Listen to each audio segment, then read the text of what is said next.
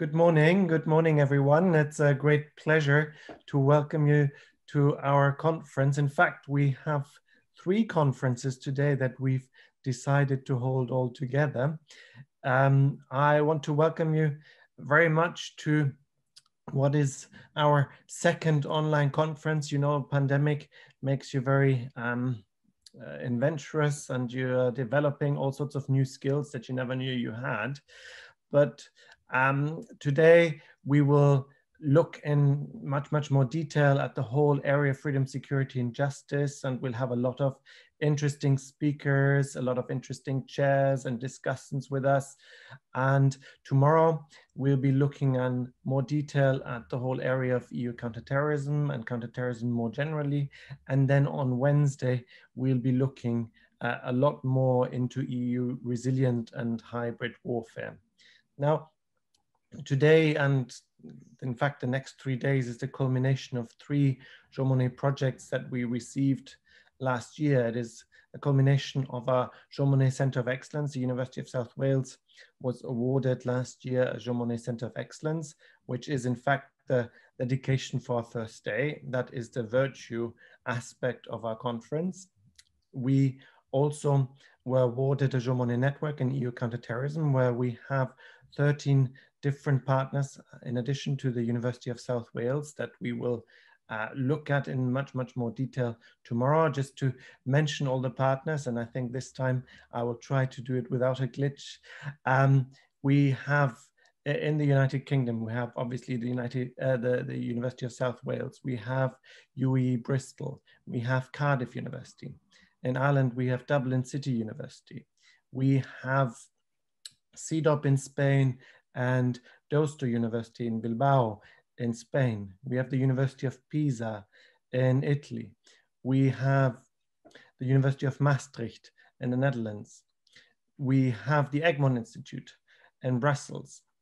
We have Augsburg University, uh, university very dear to my heart because this is where I'm originally from, of course, in Germany. We have Prague Metropolitan University in the Czech Republic. We have the University of Iași in Romania. We have the IDC in Herzliya in Israel, and we have Jendouba University in Tunisia. So I hope I've mentioned every one of them. And if I haven't, please let me know and I will make sure to mention it later. And then on the third day, we will have our uh, conference in terms of EU resilience against hybrid warfare. This is part of a Jean Monnet module that we are collaborating with Swansea University and um, of course, our very dear colleague Chris Stoddart, who works now at the university uh, at Swansea University, that is very, very important for this particular project. So this is just a little overview of the three events that are awaiting you and that I hope that you enjoy this very, very much. Just to um, some very brief comments about the entire area, because of course, this has been an area that increasingly you see more and more events being held. And of course, the European Union has a lot more activity in this particular area. So I thought I'll start with a five minute review of all the things that have happened over the last couple of years. And uh, invariably, I won't be able to mention all of them, but just to give us a little outline of what we are to expect over the whole day today when we look at the area of freedom, security, and justice in more detail. The area of freedom, security, and justice, of course, started off as an area that was outside the framework of the European Union for many, many years. It started off as European political cooperation that started with uh, interior ministers in the 1970s agreeing to meet regularly to discuss issues of internal security. They, at the time, did not have a legal mandate, nor did the European community, as it was called then, have competence. It was more of an informal gathering of ministers that in the end became part of the Justice and Home Affairs, as it was, as it was called then later, and of course also as part of the Common Foreign Security Policy that was subsequently also to develop. It was a coordinated action in the fight of uh, against European terrorism um, that drove initially this particular policy area, and over time the agenda was increased to also include other issues such as crime, drugs, migration, asylum seekers, borders, and a number of other issues that became more and more important. In the 1980s, we then saw the creation of the uh, European Common Market, something that was very um, widely discussed at the very recent G7 summit, as you probably heard all the different discussions that were being held. This is a creation, of course, from the 1980s. That was also then followed up with a number of different EU initiatives like the Schengen Agreement in the mid 80s that included uh, Germany, France, and the Benelux countries, and that provided for more free movement of people, something that we've also discussed for a number of years. Increasingly, we then developed this area more and more. Schengen became more and more developed, culminating in the creation of the Maastricht Treaty in 1992 that provided for internal competences of the European Union in this area. Now, as a number of scholars, particularly legal scholars, but also myself have argued that, of course, in a way, Maastricht was important, but what might be even more important in this area was the treaty that was to come after Maastricht, the Amsterdam Treaty, that provided for what you might call proper EU legal competences in this particular area of just and home affairs. It was also the time that Schengen was first integrated, thoroughly integrated into the framework of the European Union with the kind of opt-outs that the United Kingdom and Ireland were to receive that maybe uh, might be um, you know something to to to be regretted having lost in, in a number of, uh, of years. It also provided for what we call today the area of freedom, security, and justice. And in fact, this is the topic of our first day in terms of our discussions that we will have in, in much, much more detail. And that I hope that we will enjoy uh, very much so. Subsequently, we had, of course, a tremendous amount of activity, in particular uh, with the introduction of the Lisbon Treaty. But of course, even before the Lisbon Treaty, one of the things that kept pushing this particular area in terms of uh, competences is, of course, uh, firstly, the, the terror attack of 9 11, and then subsequent terror attacks from um, Madrid to uh, of course, London, and then subsequently then a variety of different terror attacks that we can mention, Paris, Brussels, Berlin, uh, and a number of other terror attacks that uh, could be mentioned. And if I were to mention uh, them all, I, I, think I would probably uh, stay here and talk for, for a good bit longer.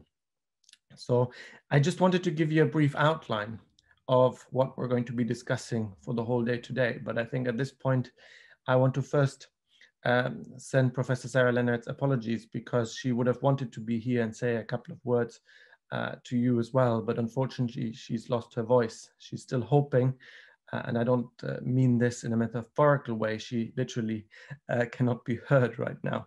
So um, I hope that she will be better tomorrow and that you'll be able to hear her tomorrow and she'll be able to continue at the conference tomorrow. But at this point, I'll hand over to Joanna a little bit to introduce both uh, on her own behalf, but also on, on Sarah's behalf, perhaps, um, all of our participants. And, and I'll be looking forward to this fantastic conference. We have such an amazing range of scholars. We have so many people that have registered and I will leave the statistics to Joanna to mention just mm. to thank with my last words here to the European Commission in particular, the Erasmus Plus program for having uh, accorded us with this great honor to, to present, uh, to, to, to create this event and to really um, carry the flag for the European Union in the United Kingdom, also post-Brexit, and of course also the University of South Wales that has helped us so much in terms of putting this fantastic event together. And of course, all of our partner institutions that we work uh, together with and that we are so uh, thankful and grateful for, for giving their time and their effort and, and, and being a part of this wonderful endeavor that I'm really looking forward to. So at this point, I will stop and I will hand over to Joanna. Thank you. Hello, good morning to you all. So um, I'm Joanna Desbrera. You have received a lot of emails from me, unfortunately, for over the last two weeks. Um, the numbers are uh, quite impressive, um, and this follows uh, the success of our last uh, event. And as Christian said, um, as we were awarded three uh, Jean Monnets, um, we decided to celebrate um, this fact with three different events separated in three different days. Um, I would like to mention uh, that amongst um, uh, the institutions, uh, we have um, institutions from all Europe, uh, also from uh, United States, Saudi Arabia, South Korea, um, Norway, uh, Australia, uh, and this is quite amazing in terms of participation. So we have uh, 60 institutions uh, participating, and we have more than 480 participants from all over the world, except Antarctica. I, I guess penguins are not uh, yet excited to participate in conference like this one. Um, I would like to, to welcome you all to the International Center of Policy and Security. And uh, on my behalf and Christian's and Sarah's, um, I, I would just uh, wish uh, all uh, a very nice conference. And uh, if you have any questions, do not hesitate to drop me an email. So without uh, further delay, I will hand this to um, Jorrit and Elena to open this fantastic first panel uh, on um, asylum and, and EU migration. Thank you for all. Thank you so much uh, to uh, uh, Christian, Sarah, and Joanna for an, a, fantastic organization of this conference. Uh, just uh, so that I know, um, that can I just confirm that I can start the first panel, just in case there will be other uh, participants actually just joining at 9.30, which is the official start time. What would you advise? Sorry to interrupt. I also think Niovi, who would be on this panel, is actually in the list of attendees and not in the list of panel panelists. I don't know if she needs to jump over. Um, open question. yes, no, I think that would be great if if you could put Niovi on the panel. She just she just popped up. Perfect. Good morning, everyone. I'm right here. Indeed, uh, I was just writing a message that I couldn't uh, open my camera and participate, but yeah, good morning. Uh, so as Christine said, today we will dedicate the day to, to virtue, to the Jean Monnet Center of Excellence. And tomorrow we will dedicate the whole day um, to the Euro, to the Jean Monnet, uh, to the Euro, uh, Jean uh, network on European counterterrorism. We will have very exciting panels uh, on terrorism and resilience, also on the new trends um, regarding uh, terrorism financing. Um, also a very very very good panel that has i think it's the most it's the most popular one at least on twitter on gender um, toxic masculinities uh, and terror. Um, so it will be the last panel. And also a terrorism uh, um, a panel on radicalization and recidivism um, that was organized by um, thomas renard um, that is also uh, very interesting as well. Uh, on the third day, uh, we will dedicate it, as Christian said, to um, a Jean hybrid module. Um, and we will have also four panels um, the first panel uh, will will uh, talk about complexity, nonlinearity, and and contested concepts. We we are receiving uh, two keynote speakers, Sir David Harmon and and Jamie Shea. Uh, that led um, one of the NATO divisions here in Brussels uh, for many, many years. Also, a very uh, interesting panel on the role of memory and memory wars and how memories um, play a pivotal role uh, on, on hybrid warfare. And the last panel um, will draw attention to the dynamics uh, at the gray zone um, and the new challenges for EU and NATO. I think it's, uh, it's going to be um, very exciting because we have um, we have panelists from South Korea talking about uh, North Korea hybrid warfare, as well as we have uh, one speaker um, addressing um, hybrid warfare in Iran. So I think we have all good motives to to uh, hang uh, out here for the next three days. Um, I think also this is a, a, very good opportunity to students that are looking for uh, new topics for research. Um, so I am also quite excited about the event as well as a whole. As we're currently getting closer to the to 9:30, maybe um, maybe we can start indeed the, the first panel uh, if you're if you're happy with that. That would give us a few extra minutes to uh, you know for questions. Would Absolutely, you, you, don't have to restrict your your presentations quite so quite so disciplined. So please do go ahead. Perfect. Thank you very much.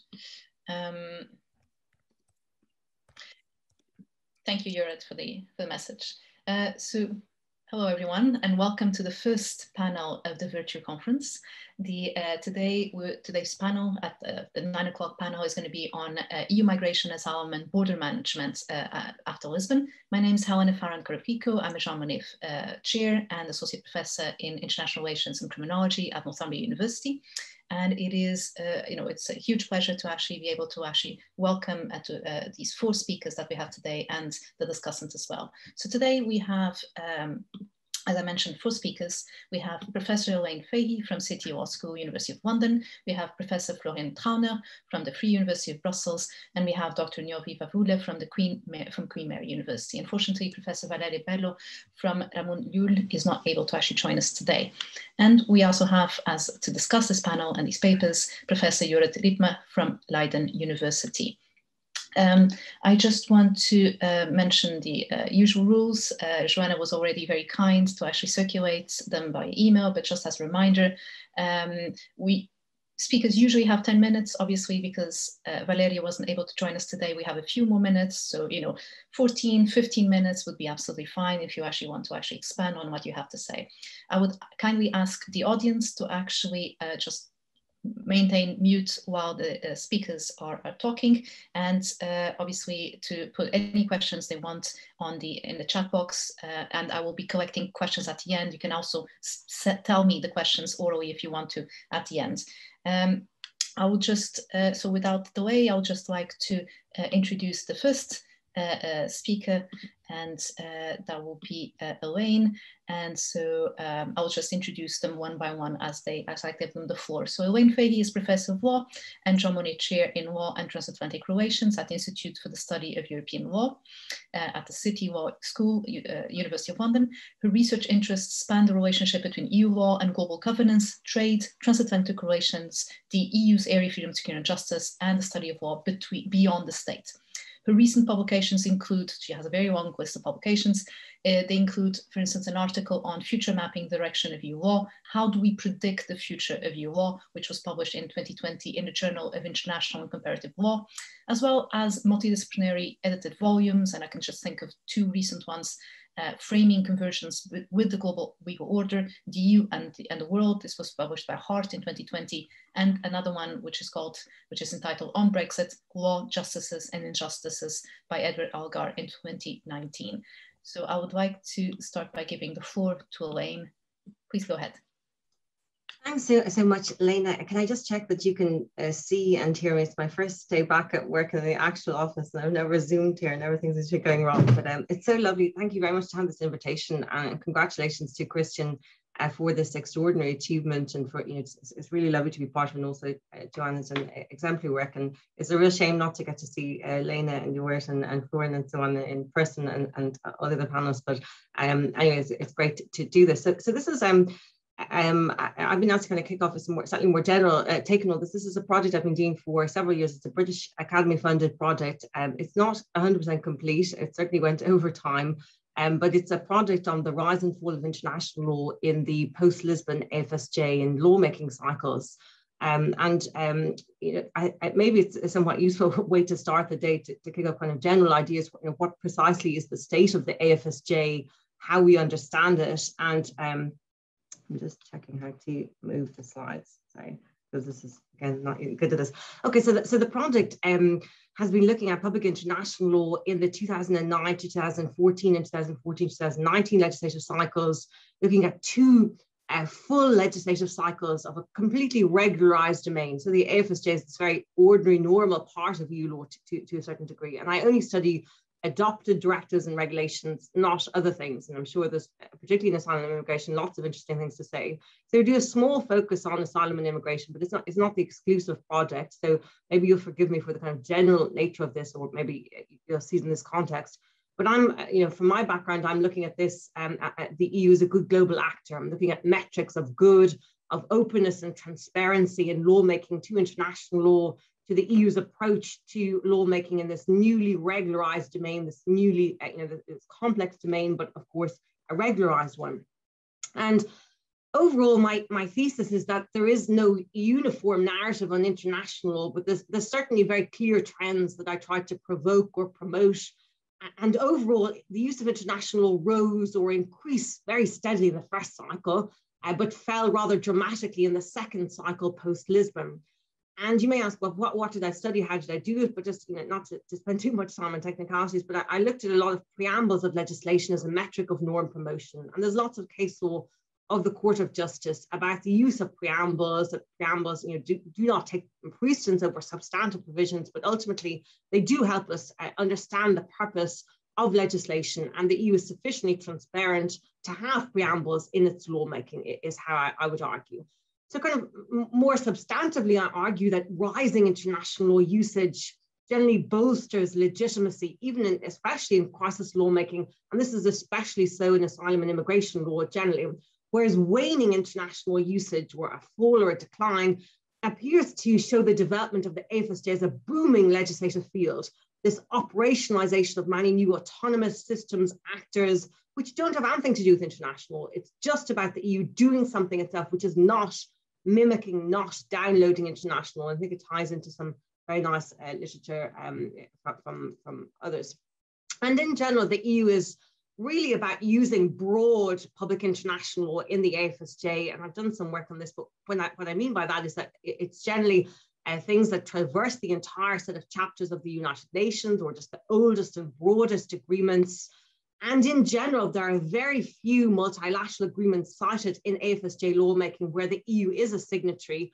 The EU is mostly a you know, signatory to a couple of major multilateral agreements, but they're mostly not used in the AFSJ. So, for example, the trafficking convention and so on. But, but, but in general, these are, are you know, major multilateral uh, agreement or major developments in, in the EU's global actionness are not present in the AFSJ overall. It's, it's just a use of generally broad accepted norms.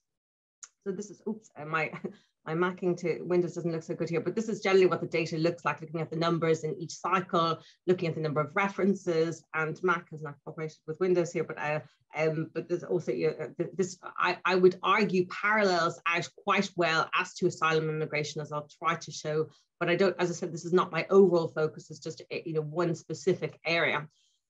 But in general, the, the, um, you know, the, the data suggests that there's a very strong rise in the number of regulations throughout the AFSJ cycles, where there's a, a considerable reduction of member state discretion. And I, I think this ties in well with other work that the Commission generally uses regulations under con conditions of Euroscepticism, but is also not very good at justifying well its choices as to what it does. And in general, regulations overtake directives as the main instrument of the second legislative cycle and are predominantly used to create new autonomous concepts. And they generally, most importantly for my purposes, are used to operationalize the AFSJ without any reference to international law. Okay, so just to give you, you know, a, a snapshot of, of, the general themes, I, would argue that rising international law uh, usage in the FSJ is about legitimation, standard setting, and innovation, whereas declining international law in the AFSJ is generally about the rise of regulations, the rise of actors, or the rise of new systems. I'll try to briefly go through this, um, um, but you know, you know, the, the crisis dimension to all this, and I've done some work with, with Lena and, and others, and this is, is quite important to say, you know, at the very end of the first legislative cycle, um, you know, about half of the EU's AFSJ lawmaking relates to things like asylum, immigration, financial matters you know, two out of six directives, four out of regulations. And you might say, well, that, that sounds a bit dull, but you know, in fact, the EU here is, is really grappling with many complex issues and its use of international was quite interesting here. I call it stock use or bulking. So on the right-hand side, if your eyes are not completely ruined from Zoom times, uh, you might be able to see this is this big chunk of text here, recital four of the external um, surveillance uh, sea borders regulation is a really good example of how the EU seems to deal with crisis. It puts tons and tons of pieces of international law into a, preamble. So this kind of bulk and concentration of lawmaking for legitimate purposes, legitimation purposes, I would say, citing all major international instruments as the law of the sea in this particular context. So this is kind of one example of what I would say the EU does at this particular point in time. A slightly nicer example, although not necessarily nicer thing, but um, of, of, legitimation, standard setting, innovation is, is as the directive of sexual abuse and sexual exploitation of children, which is an extraordinary piece of legislation, taking in my mind a maximum harmonization directive with really far-reaching criminal law penalties. And here we see a UN Convention, the Rights of the Child instrument uses the main external norm, something to which the EU is not a party. The EU is, you know, really has a strategic agenda, which is very strong here, one of the most widely ratified human rights treaties of all time. But of course, there's this very strong link here with securitization, the FSJ, maximum norm convergence, and you know, questionable place of subsidiarity here. So, so there's a lot going on in this directive, and I think international law gives us an interesting flavor as to how to understand very complex themes, very far-reaching efforts at lawmaking. I think the EU's trafficking directive, one of the first pieces of criminal law of this cycle, is also a very interesting example of the use of international law. We have the, the major UN conventions, the rights of the child, uh, organized crime, uh, the Geneva Convention, all used here. Ultimately, lots of people will tell you the directive is very much watered down. It's much more about security maintenance, less about victims. Um, uh, but of course, it's still a very landmark point in, in, in, in EU law and international law gives us a slightly interesting take on how to see these concepts evolved, evolving. I think, though, to my mind, the really interesting story is probably the decline of international law, which I said is about the rise of regulations to develop new actors and agencies. This is particularly so to third country nationals.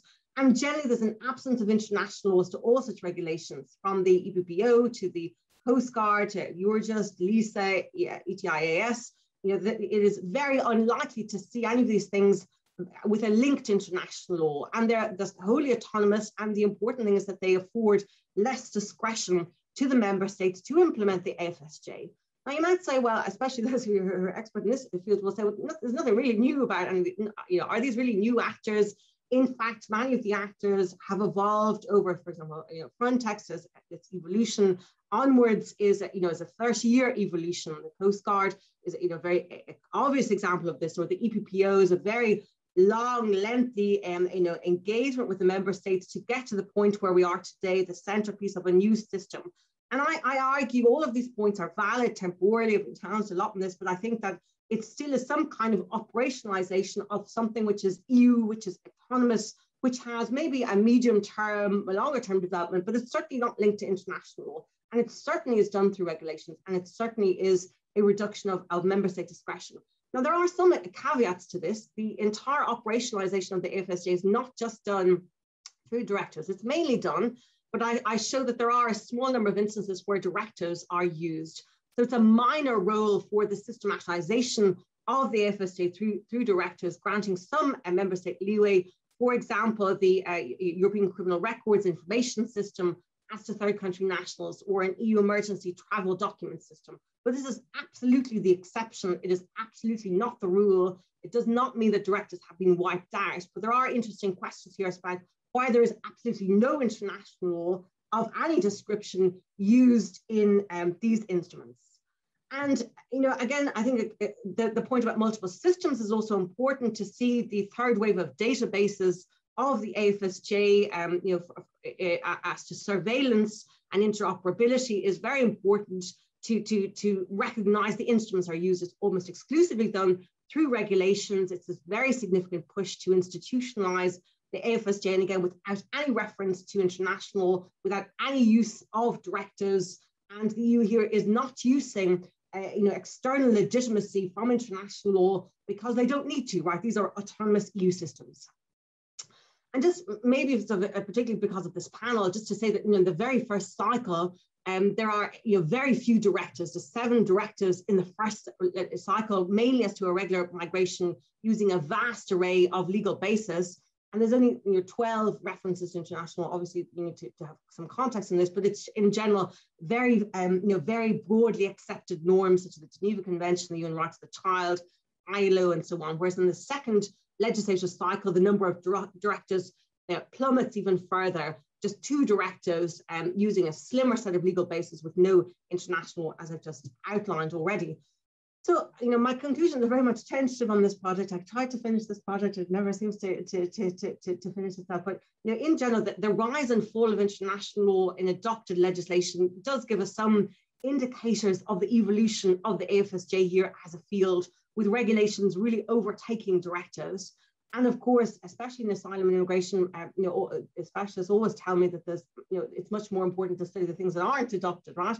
And I, and I fully subscribe to that. But in general, the use of autonomous concepts, I think, is very interesting just through regulation. Um, and, I, I still would argue that I'm not trying to present a negative picture here. I think there are a lot of, you know, there's a lot of evidence here of the EU's good global activeness, just because even in crisis times, the EU is not exclusively um, the, you know, the EU has some outwards facing dimensions. It does not inhibit or prohibit socialization, to use it in, in kind of IWAR terms. And even in its most responsive international or internal lawmaking to crisis, it still tries to use international law, but it still shows you know, significant evidence of it evolving independently. So I'm looking forward to your comments. Thank you very much. Thank you so much, Elaine. That's excellent, uh, excellent timing as well. Thank you. And uh, I would now like to introduce to you uh, Florian. Uh, Florian Trauner is Professor of International uh, Relations at the Free University of Brussels, where he's also Director of the Research Center for Migration, Diversity and Justice, and where he also holds the Jean Monnet Chair Expand uh, which uh, means explaining uh, resilience in EU justice and home affairs. Uh, and he's also he's, he also coordinates the uh, Free University of Brussels Interdisciplinary Center of Expertise on Migration and Minorities. His research is interested, uh, his research focuses on European integration processes with a focus on EU asylum migration, forcible return and counterterrorism policies, including the linkages between European home affairs policies and foreign affairs uh, slash external relations. Among his uh, very prolific uh, uh, publication list is, for instance, the Routledge Handbook of Justice and Home Affairs Research, which has been co-published, co-edited with uh, Ariadne Ripoll-Servent. And uh, where research projects are concerned, he, in addition to his uh, Jean Monnet chair, he currently leads a work package of the Horizon 2020 project Bridges on the production and impact of migration narratives. Florian, you have the floor. Thank you. Anna, for the kind introductions. Thanks, Joanna, Christian, and Sarah for organizing this great uh, conference. I look forward to many, many panels that are coming, uh, taking place in the coming days. And hello to everyone. I saw in the list of participants very familiar names in our research field, so I'm very uh, happy to be here engaging with you uh, on this research. A uh, bit of a background to my presentation uh, it's a bit less academically driven in this case than Elaine's presentation because most of my input is based on a policy paper that I co-authored with Olivia Diez uh, at the European Policy Center. So it's a bit more policy oriented and really looking what's going on uh, with this new pact on migration and asylum that the Commission proposed last September uh, and a particular focus on the return, on the concept of return sponsorships that is a, a key feature uh, of this uh, of this whole package that is being presented. My question clearly is, can this work? Will this actually lead to more solidarity among the member states? Uh, so uh, it's a, it's a, it's a short presentation. I was just told to have 10 minutes, but basically there's two uh, parts. Uh, first, this new idea of flexible but still mandatory solidarity. It's a, it's a relatively new idea. Before it was much more talk about really mandatory solidarity. This flexibility element was much less in the forefront than it is right now. Uh, and uh, right now, member states can choose much more. Question, can such an idea work in practice? what do member states, what do uh, commission officials and so on think about it. For our work for the European Policy Center, we have talked to several of the peoples uh, and made up our minds to what extent this is realistic or not. So basically the, the key point of the Commission's Pact is that uh, it should become more flexible. As many of you are surely aware, post-migration crisis, the European Union tried to uh, reform the existing asylum laws. They proposed a full package, uh, a key piece of which has been a proposal for a Dublin 4 regulation. In the Dublin 4 regulation, the EU said we need to have a mandatory quota for asylum seekers in the European Union. Has become a very controversial piece of legislation some member states have fiercely opposed it. Hungary uh, uh, organized a national referendum on this issue. So in the end, it was not adopted by the time of the European Parliament elections in 2019. New commission, new parliament came into power uh, and the commission's pact is right now the result of uh, commission internal thinking, saying that this relocation of asylum seekers uh, has to be, you know, uh, softened uh, and they came up with this idea of return sponsorship. So return sponsorship is a key idea for all those states saying that uh, the relocation of asylum seekers is unacceptable for whatever reasons, they can focus on restrictive policies, notably on the return of irregular migrants or rejected asylum seekers. Uh, other elements of this pact, key elements of this pact should be that much more should happen directly uh, at the border uh, there should be more accelerated procedure, stronger control, uh, strongly empowered uh, Frontex agencies in particular, uh, and migrants, if found uh, ineligible to stay, should be returned very quickly after they have entered the European Union's territory. Uh, and to make this happening, the EU builds very strongly on cooperation with third countries. in the Commission's mind, they have worked a lot with positive incentives in the past, uh, more money, better relations, you name it. Right now, there should be also negative conditionalities in case a third country is not willing to cooperate. Uh, a, a, very important element in this context is the use visa policy. So let's say if a third country is not returning migrants, uh, then uh, a third countries, many parts of the population, if not all, may actually get tougher, more restrictive visa conditions to enter the European Union. So there should be really strong pressure on third countries to do more uh, in terms of migration cooperation with the European Union. Give you a concrete example because sometimes this return sponsorship is difficult to, to really understand what's meant. So there, let's say there's a group of Nigerian migrants in in Sicily. They entered there. They are uh, uh, basically uh, received in the centers financed partly uh, co-run between Italian and the US agencies. They are found to be ineligible, so they should be returned. Belgium says, okay, we act as the sponsor, the return sponsor for this group of migrants. During the whole process, uh, Italy remains responsible basically. The you know the issuing of removal orders everything remains with italy uh, and the legal responsibility at least until the very beginning uh, remains with the italian authorities too. Uh, it's italy actually who comes uh, up with some ideas what could be done. You know there should be a newly created position so-called a return coordinator within the european commission that is coordinating between border countries and the rest of the European Union and ask what could be done. So Italy could ask Belgium, uh, could you finance an assisted voluntary return program for this particular group of countries, uh, of, of migrants that they could be returned? Or if they could ask for uh, the laissez-passer documents for the Nigerian uh, uh, consulates, uh, embassies, so they could do more the document document work that is related to a return field. In case a return is possible, migrants are returned directly from Italy uh, to Nigeria, possibly with the help of the Frontex agency. If the return is not possible, then the, the responsibility shifts uh, indeed to Belgium. Uh, and Belgium, after eight months, has to take the group of Nigerians and bring them to Belgium. Uh, they can continue to uh, return them from Belgium to Nigeria, or they can continue, uh, they can treat it according to national and European law. They can ask for a regularization process. They can have a kind of a toleration regime, you name it. Uh, that's a bit the, the context here. So it's really, it requires a quite intense cooperation between the state in which the migrants are physically located and the state that has taken up this return sponsorship. Uh, a bit uh, more on the background. Uh, I briefly mentioned it already, difficulties to, uh, to come up with a new policy post-migration crisis.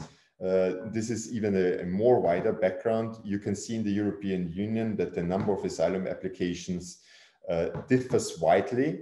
some member states do receive quite a, a high number. Some member states have very few number of asylum applications. Uh, the blue uh, uh, color is Germany. So Germany in absolute numbers, in particular during the so-called migration crisis, received much or the highest numbers. in, in relative terms, it was Sweden.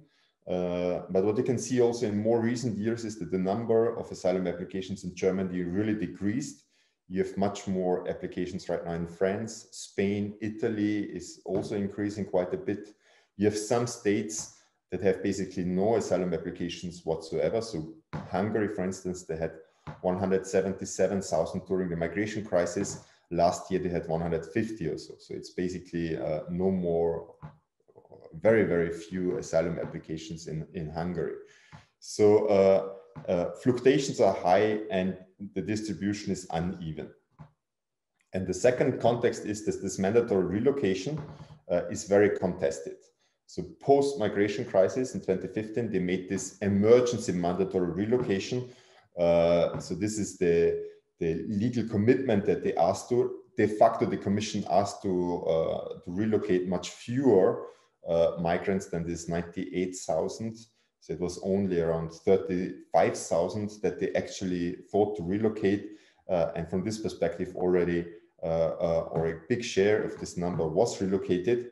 But what you can see is that some member states uh, basically completely uh, uh, were outside these relocation efforts, and some member states did relocate quite a bit. Uh, in you know, you had some states such as Malta again, and, and others that really overfulfilled all uh, their their quota, uh, and in some states. Hungary, Poland, in this table, Austria, you had very few or no relocation whatsoever. So this return sponsorship should be the, the magic solution. Uh, if states don't want to, to work on relocate, then let's give them responsibilities for the return directly uh, from the border states. Uh, what has been the debate so far already? Uh, we can see that the debates on relocation shifted, but the broad patterns remain the same. So for those states that considered a relocation within the European Union as too intrusive to national sovereignty, uh, the relocation or the transfer of irregular migrants is also too much. Uh, so we have statements such as uh, return sponsorship is a relocation through the back door, and uh, it's unacceptable. Hungary again, Poland, they are very outspoken that this is something that they will not uh, accept neither. On the other hand, you have the border states that say eight months is a very long time period. We want to have much quicker action, four months max, uh, and then this return uh, provision should kick in. Uh, another point, what you can see is that the Commission was very much you know, focusing on bringing all member states on board. Uh, it has allowed a lot of flexibility. Member states can choose nationalities of returnees. They can choose, you know, the exact setups between relocation, return. So it's a lot of flexibility in this sense. Uh, but it's also a lot of possibilities to shirk responsibilities, uh, a lot of ad hoc administrations. Uh, it's easily possible that after eight months, as states say, but uh, I'm sure Italy or Greece, they haven't actually tried hard enough to return them.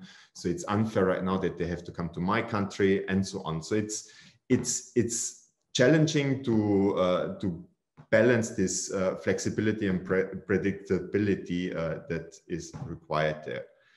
Uh, and then uh, migrants as such, shifting irregular migrants uh, where there is no harmonized return regularization policies in Europe creates new vulnerabilities for them. You have very different policies in Europe. You have states such as Denmark that starts to consider uh, some regions in Syria to be safe. You have other states that have no problem to return uh, Afghan, uh, Afghan migrants back to Afghan, uh, Afghanistan and in some other states, Afghan migrants are much more protected by court rulings. So all these kind of differences, they do play out and it's not very clear how this return sponsorship concept fits into this. Uh, and a final uh, uh, really big question mark is about the third countries. Uh, it's, it's challenging to perceive that just a bit more pressure will uh, make the third countries cooperate so much more as the European it's also uncertain that all member states will go along with the plans to, rule, uh, to use the visa regime for tougher measures. Think of France and the counterterrorism, uh, counterterrorism operations in Mali, in the Sahel. Uh, so a state such as France has wider security foreign policy objectives uh, and migration control is important, but in some some key countries of origin, it may not even the, the, the overarching, the, the, completely dominant one in particular for foreign policy actors. So this is already my last slide. Uh, what we can see is return was framed, was proposed as a missing piece for a pan-European migration management as a solution to find more flexibility, but still more mandatory help. Everybody has to do something it's very clearly, as several authors have, have highlighted, that this is a, a realpolitik approach.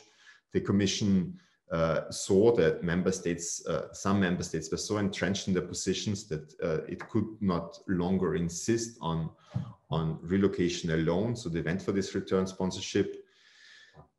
The, the risk is indeed that there is a very strong level of politicization, of polarization, that this all the elements that the commission hope to go away, that this will not be uh, uh, not not uh, off the table again. There is a further risk that there's a lot of negotiations, a lot of you know ad hoc uh, coordination efforts, but the the outcomes are by far not as satisfactory as the uh, as the commission had hoped for. Uh, and uh, it's certainly also a, different, uh, a difficult concept for the migrants themselves and for the partner states with which the EU seeks to cooperate more. Thank you for your attention. Thank you so much, Florian, for an excellent, excellent pre uh, presentation. And I would now like to introduce to you uh, the next, the, our final speaker, uh, uh, Niovi. Uh, Niovi Vavoula is lecturer in migration and security at the School of Law of Queen Mary University of London. Uh, prior to her appointment, she was part-time teacher at the London School of Economics and Political Science and postdoctoral research assistant at Queen Mary University of London. She holds a Bachelor of Law from the University of Athens, uh, which, where she graduated in 2008, an LLM in European Law 2011, and a PhD in Law 2017 from Queen Mary University, uh, from Queen Mary University of London. She's been uh, an invited lecturer at numerous universities, such as the City University of London, University of Thessaloniki, University of Athens, ULB, and has uh, participated as an expert consultant in various projects led by the European Commission, the European Parliament as well, the Fundamental Rights Agency, and the ECRE. Her expertise lies in EU immigration law, EU criminal law, and privacy and data protection law. And among her uh, growing list of publications, uh, very impressive list of publications, uh, I've actually just selected a couple of things. Uh, one of them is an edited volume, just came out actually, uh, on privacy and surveillance in the digital era, challenges for transatlantic cooperation, European criminal law, which was published by Hart and co-edited with Valsamis Mitsilegas And she's also also has a forthcoming monograph exploring the privacy and data protection challenges stemming from the establishment and operation of EU-wide centralized information systems, which will be published by Brill in 2021. So we're all very much looking forward to that. And uh, you have the floor. Thank you. Thank you so much, Helena, for the uh, kind uh, introduction and congratulations to uh, the organizers of this very interesting conference and thank you very much for the invitation. Uh, please allow me to um, share my screen. Okay.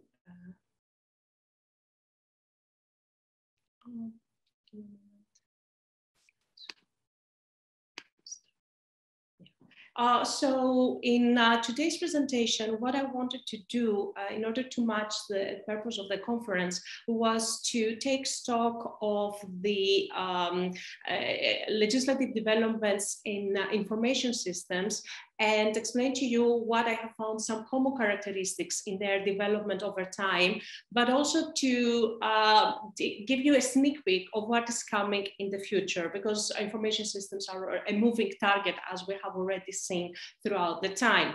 Uh, I have prepared a presentation for 10 minutes. I'll try to be as concise as possible. So without further ado, I would like to remind you that at the time that the Lisbon Treaty uh, uh, was adopted, uh, we were still in what I have called the second wave of information systems, where only Eurodac and the Schengen information system, third generation, were operational. The visa information system at the time was um, adopted, but it wasn't still operational. It only started operations since 2011. Uh, so since then, uh, in the last uh, 12, 13 years, we've seen a booming in, uh, in the development of information systems that has taken place in numerous ways. The first way it has been through the operationalization of the visa information systems, as I mentioned, and the constant reconfiguration of the Schengen information system, Eurodac, and the visa information system. So we've seen new uh, legal instruments being adopted or are in the process of being adopted uh, where uh, additional functions uh, are being inserted in these operational systems.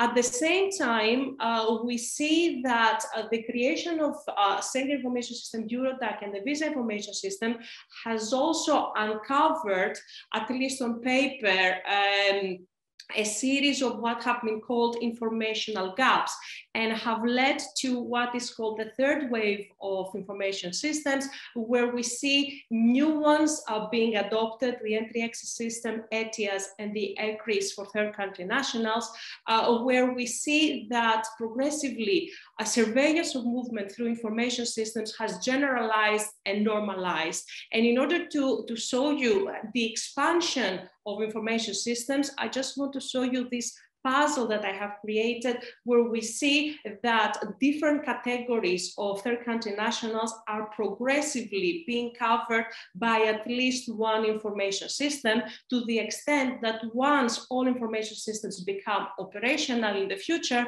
there will be literally no third country national who is not going to be covered by at least one information system. So this normalization of surveillance has been coupled by um, a series of other common characteristics underpinning all information systems. Uh, the first one, apart from the expanded scope, is that additional categories of personal data are being inserted. Uh, this has been have been, of course, informed by the um, by newest uh, technologies. So we see that um, fingerprints were introduced uh, first in Eurodac, then in the visa information system. Then this was expanded in the Schengen information system, and we see that uh, fingerprints now have become a banality, and almost all information systems will collect uh, either a full set or at least some fingerprints of their country nationals. But we see that even more intrusive technologies are being uh, used. Uh, originally, we see uh, that uh, the visa information system and, and uh, the Schengen information system were to collect photographs. Now, in light of the uh, growing use of facial recognition in the future, we are moving into the use at, in the legislation to facial images. Other intrusive technologies are obviously automated uh, decision making, automated processing of data. This makes sense with the creation of information systems which cover all um, categories of third country nationals then um, the data are going to be used in order to cross-check uh, the systems in order to make decisions on visas and on ETIAS authorizations. And obviously, perhaps the, the newest and more intrusive way that uh, um, information systems are going to be used is that they're not going to operate in silos and they're going to operate, they're going to speak to one another. Interoperability uh, is still in the pipeline, it has been adopted, uh, and it has a series of uh, different components, uh, which basically create new databases uh, through the back door. Uh, we also see the creation, the opening up of information systems to all the more authorities and EU agencies. For instance, Europol, which at the beginning had only limited access to some information systems, is progressively having access to, to everyone, to every information system, uh, and for instance, to all uh, alerts uh, contained in the Schengen information system, but also with the European Border and Coast Guard, we see growing interest uh, of uh, the agency to be involved uh, in, in, in, in, databases. For instance, the case of the ETIAS is the most prominent one. Um, in these um, characteristics of information systems are underpinned but what, what we can see a growing blurring of the boundaries between immigration and security. Uh, this has been ongoing already for years. Law enforcement access to immigration systems is the prime example, but uh, in my view, the way that interoperability is going to operate uh, further blurs the boundaries between immigration and security because it streamlines the conditions of law enforcement access to the system. So we see that immigration and security are further uh, linked together. Also, the fact that um, um, the, the, way that the ECRIS-TCN is going to operate is also another way in which security and immigration are connected. Uh, so far, we had seen how immigration systems are open up for law enforcement. Now, in the, the ECRIS-TCN marks a paradigm shift whereby a security system is going to be used for immigration purposes Um, these are the, some common characteristics of information systems that are based on their legislative development. But uh, what is interesting is what is happening in practice and what we have can expect in the future for information systems. Uh, the first thing is that uh, the currently operational systems uh, expose a series of data quality problems. So for a series of reasons spanning from uh, the uh, training of border guards to different alphabets that need to be inserted in the systems, a series of actors on the basis of empirical data have um, exposed a series of data quality issues with the problem being that there are no sufficient mechanisms for the member states to um, rectify the data, data, quality problems. EU-LISA, which is the uh, agency responsible for the operational management of information systems, uh, every month does automated checks, but uh, in reality, member states uh, do not follow up on these um, uh, only follow up very, uh, on very few of these data quality alerts. Uh, a second problem, and this shows the uneven development of information systems, is that though there are some judicial and extrajudicial remedies, in practice, practice shows that these are utterly uh, ineffective. One reason is uh, the lack of information that uh, third country nationals have about their rights. The second is the lack of means. Uh, and um, yeah, so for all these reasons, we see that uh, a, the growing development information system hasn't been coupled by um, a, a, an effective safeguarding of third country nationals' data. And this is also reflected in the fact that there is any lack of judicial engagement by the Court of Justice or the European Court of Human Rights for that matters on information systems. So we see all these new legal instruments, but they are not being uh, a, a subject to any uh, judicial uh, engagement in any way. At the same time, we see that there is an indirect approval of processing of biometrics for immigration related purposes. In one case that was unrelated to EU information systems, but uh, it, it revolved around the processing of biometric data by a Dutch database um, and so in this case of ABNP, not only the court indirectly approved the processing of biometrics, but also made, uh, in order to uh, justify that, it made direct reference to uh, the visa information system regulation saying, since uh, an EU legislation is doing that, so can members too. So indirectly, the Court of Justice has approved that, but there is no further, um, uh, no further engagement, no further scrutiny by the Court of justice. Um, so what does the future hold for information systems? Um, as I said, there are three information systems currently in the pipeline.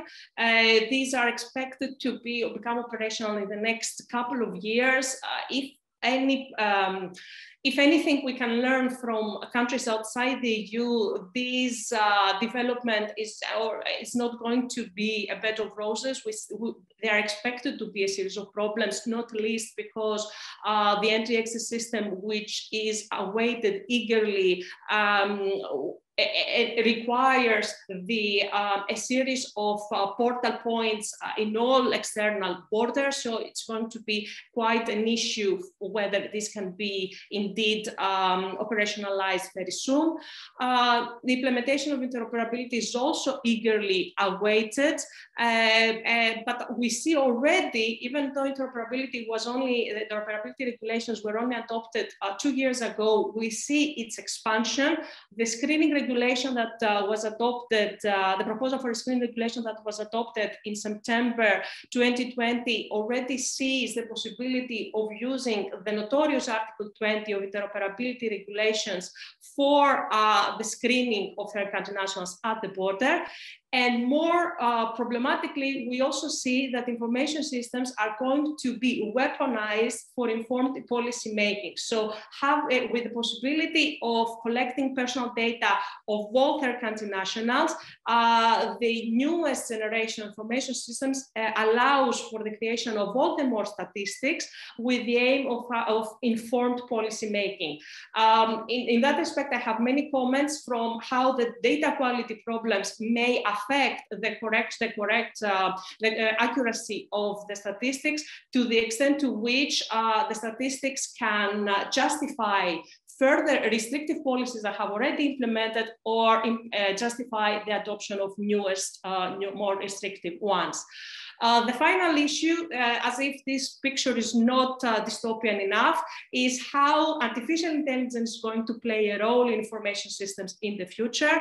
We see already artificial intelligence tools making their way into uh, in, uh, the operation information systems through the ETIAS algorithms, for instance, how ETIAS applications are going to be um, processed uh, through the creation of algorithms. Um, these algorithms, we can have a debate as to whether they're going to lead to a possibility to, possible discriminatory practices. Uh, I already told you that facial images are going are inserted already and are going to be um, inserted all the more in the future with the aim that in the future, when the technology allows, there are going to be facial recognition at the border.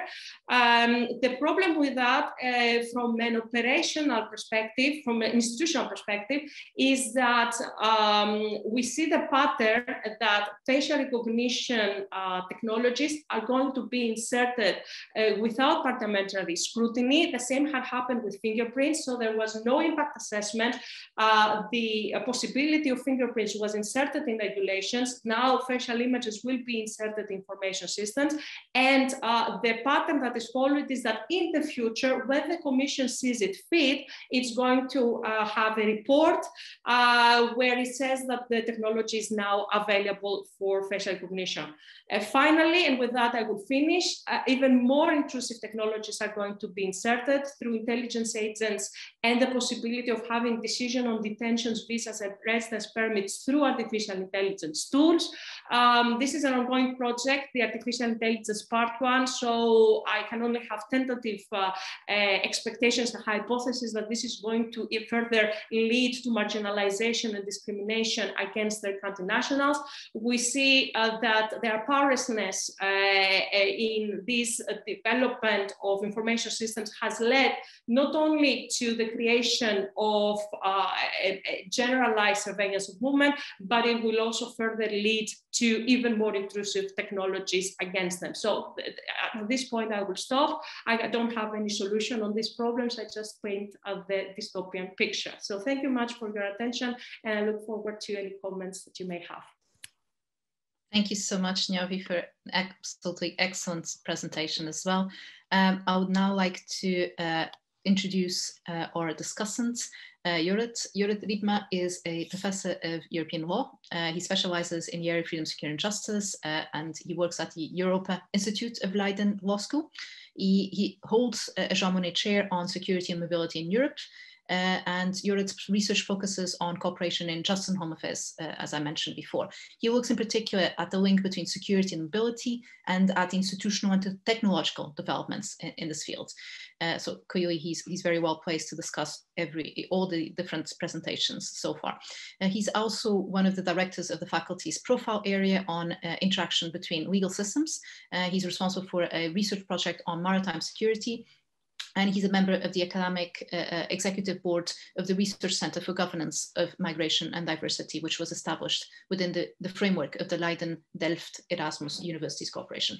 Among his recent publications, uh, I've just chosen a couple of them because obviously he's got a very impressive list of publications, is a 2020 uh, special issue uh, of the Maritime Safety and Security Law Journal on the EU and maritime security, and the 2020 editorial entitled COVID-19, Another Blow for Schengen for the Maastricht uh, Journal of Law, of European and Comparative Law. Uh, we, uh, you have the floor. We don't have much concern in terms of time for this panel, so take as long as you'd like. Thank you very much, Elena, and it's great to see you all. It's it's it's like one of those reunions, but then online. Um, but I do desperately hope we'll have some uh, some some in real life. So um, I'm in this very luxurious position of, of having uh, been sent two papers in advance and, and the abstract of uh, Niovi, but I know Niovi's work very well uh, and, and I'm always very excited.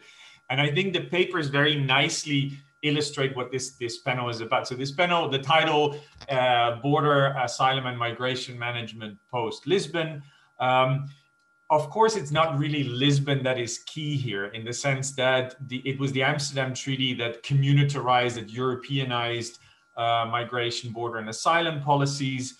Um, so, so it wasn't exactly Lisbon that, that changed much. In fact, actually, Lisbon uh, maintained a lot. Uh, we would have expected maybe after after Lisbon with the uh, the, the, the then sort of merging of of the three, uh, two pillars of, of police cooperation and migration and asylum um, you, you, we could have expected perhaps a, a, a, a, higher degree of supranationalization, and, and we actually see the contrary, I think. I think Schengen is, is sort of casting its, its intergovernmental shadow over the area.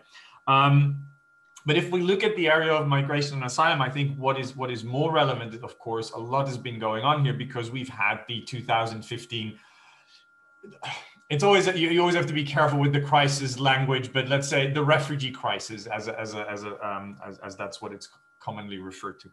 Um, we've seen the refugee crisis, and, and what is, is is relevant there, I think, is that already in 2015 we had, of course, the agenda on migration. Then in 2016, following the refugee crisis, we've had, of course, massive activity on the international field with the the EU-Turkey deal, um, but also a, a whole range of Commission proposals to sort of um, um, improve and, and, and fix the, the common European asylum system and, and, and, and uh, flanking migration policies. That obviously was a, was a disaster. I don't think we can call it anything else. And then um, um post, uh, well, post COVID, um, after we, we had dealt with the emergency funds for, for COVID, then the Commission found time to finally present its pact on asylum and migration. Because remember, that was the promise with which Commissioner uh, President von der Leyen came in, a, a new fresh start. But the question is, of course, to what extent is this a fresh start? I think the pact, and that was very nicely shown in the piece by Florian, is, is very much what I'd like to call a drawing table solution. Um, it, it, it's very much wishful thinking. Um, in Florian's paper, he, he rightly pointed out that um, um, the pact is being reproached for sort of uh, um, um, how do they say that old old wine in new in new barrels, um, um, and that is uh, not true for that return uh, uh, uh, sponsorship. That's actually one of the new elements where uh, the Commission clearly wanted to reply to um, the, the concerns of the Central and Eastern European member states that have been so much opposing any uh, compulsory uh, reallocation or actually involvement of the European Union throughout. Now, um, let me get to the three papers. I, I, think what they very nicely show, they're very different papers in our, our, presentations in their own right. And at the same point in time, there, there's clear connections there. And there's themes, I think, that we've, we've been able to identify pretty much since the emergence of this area, and that is the, the strong focus on the external dimension. Obviously, Elaine's paper is clearly focused on, on, on, on, on the position of international law, but also in Florian's uh, uh, paper, you see that return is highly depending on cooperation of third countries, how conditionality is being brought in. That is also, again, not something new. Um, following the 2016 proposals, there was actually a 2000, now I need to be careful, was it 2017, the new partnership framework um, with third countries where already that element of conditionality was brought in. And I think that in the paper, you, you, didn't go into that much detail now, but I think in the paper, rightly, you, you ask questions on whether member states are going to be willing to also sacrifice functioning bilateral relations or cooperation in different fields merely with the, the, the view to, to um, um, enhance returns. So the external dimension is one. And actually, Niovi, also you didn't mention that, but of course, also in the digitalization, the second sort of theme, I would say, that the, the, brave new border, the, the, the focus on surveillance, obviously there also, there's a very strong element in terms of cooperation with third countries. We see that now in, in, in the establishment of national coordination centers in third countries within the framework of Eurosur. Um, so so there, there, is, there is an incredible push towards this interoperability, but also to uh, increased um, uh, data exchange and and I, I very much share your worries there. I'll get back to that. Then then there's the issue of solidarity, and and I think that is something that clearly came up also in in in, paper because yeah, on the one hand, this is sort of to ease the concerns or to basically um, um, reply to the to the um, opposition of the Central and Eastern European member states. But of course, there's also the element that there's the states at the external border that are demanding more solidarity and more uh, involvement of Europe. Um, so, so the return sponsorship is an example there of that flexible solidarity. And finally, of course, the element of security and the, the consistent sort of um, um, um, putting security over human rights concerns. This is never a balancing act, I think, actually. If you put security uh, on the fore, um, it's not that you will get more uh, security by, by, by curtailing human rights. I mean, I, I would assume that I'm preaching to the choir here, but it, it, it never hurts to, to mention that again. Then let me let me go into the specific papers. Elaine, I, I really uh, liked your paper. It's always very good to do sort of, it's almost non-lawyerly exercise to do some, some data collection and, and draw some conclusions from that. Um, I, I have one question there. Um, you said there's sort of three functions, the legitima legitimation of, uh, of, of EU policies through the use of international law. I would clearly agree with that. I, I would argue that that is you can you can broaden that that that conclusion and it it, it has specific particular relevance for the use of human rights and the references to human rights because um, that is something that I noted apart from of course UNCLOS and the Palermo protocols many of the international agreements you referred to especially because we are in the area of you looked specifically at migration and asylum um, uh, these are human rights instruments um, I was, and then your second sort of uh, uh, use of international law was the standard setting, and the third one, the downloading. Now, with the downloading, I had a bit of a question. I was like, could you say that's that to me that seems more than just implementing. It's it because i would assume that the eu also has based on its international obligations and its external powers also obligations to implement. But i would assume downloading is also sort of promoting almost or mainstreaming. Um, now, I was wondering, um, you did mention that there was one thing where I, I, think you weren't right. You said in the 2011 Frontex regulation, there was no reference to international law instruments, but I do think they do mention the Geneva Convention. Um, that is just a small point, but more generally, I was wondering, could you explain the decline in references, perhaps by an increased use uh, of the charter. And given the fact that many of the, the, the, rights that are laid down in the Geneva Convention, uh, prohibition of non-refoulement, are also in the charter. And you see sort of the court also more and more using the charter. In general, um, I've noticed that sometimes there's no reference to Geneva, but there is to non-refoulement. So I wonder whether, whether that, that could be uh, relevant. Um, I was very curious um, to see whether you could also say something perhaps on the basis of your research uh, on the substantive potential of these international law instruments. I, I, would assume that's more difficult because then you would have to go into content. You may even would have to look at the court. Uh, that would be another paper, but I think it's very interesting to see also what the court does with international law, especially in this area, especially with the Geneva Convention. We have some interesting examples there. Um, but but one of the international law instruments I'd be I'd be very interested in seeing what its substantive potential is is the rights of the child. Um, I think that's underused, and we there is reference to that in the charter as well. Um, I have a question as to your, your, your, how you link it to regulations and actors. I, I definitely share your observation that there is more use of regulations, which I think is a little bit naive in a way because it seems like as if directives aren't binding uh, as if directives don't, as, as if through directives you wouldn't be able to achieve a degree of uniformity. Um, but then the second point, of course, for actors, for the agencies, and there I see why there's the use of regulations, but there I was wondering, um, and again, maybe for a third paper, there's a whole agenda opening up here. These actors themselves are, of course, also international actors. And I think we, we, we this links to my, my issue of informalization uh, something that you that you have also identified in your in your paper. Um, to what extent are these actors also not brought on board in the whole informalization process? Um, anyway, so so there's many many elements in your paper. Uh, I thought it was very interesting. Um, um, wonder. Uh, I'm very curious to hear your thoughts on that. Then Florian, yeah, the the the, the solidarity uh, uh, element, I, I, and, and and the intergovernmental shadow of the past this solidarity forum I, it seems like forum is the new is the new working group party or working group or whatever um, we now see a schengen forum being set up um, i think this is very much in reply to the and i would want to know if you agree to to indeed the failure of the relocation decisions and the sort of accepted wisdom now that um, the AFSJ is different from the internal market. Uh, we had a professor, uh, Van Middelaar in our university saying in his inaugural lecture, uh, migrants aren't caught fish. You know, it's easy in the internal market to set quota, but here you're talking with much more um, uh, uh, sensitive issues. Um, I, I, wonder how you feel about that. I, I see where he's coming from, but at some points I also wonder was the internal market that much less controversial back in the day?